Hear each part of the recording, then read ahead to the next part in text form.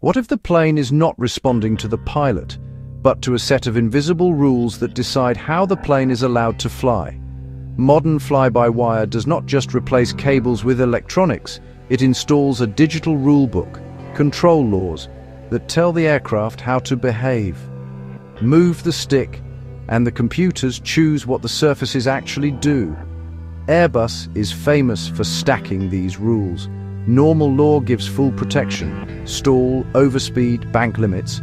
Lose some systems, and it drops to alternate law. Lose more, and direct law appears, raw, unfiltered, no protection. And here is where the debate starts. Airbus designs the plane to protect itself from unsafe inputs.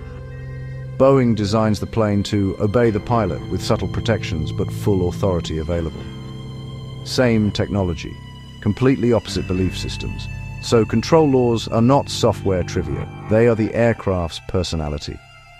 One plane says, I will stop you before you break the limits.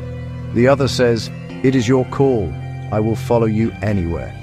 Which philosophy would you trust more at 35,000 feet?